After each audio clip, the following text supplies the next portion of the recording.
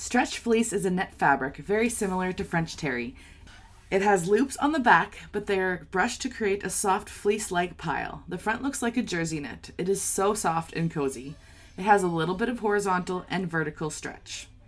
It is a medium to heavyweight fabric with a moderate to structured drape. This is one of our favorite fabrics, especially when made from lyocell. It's great for hoodies, pullovers, joggers, and loungewear.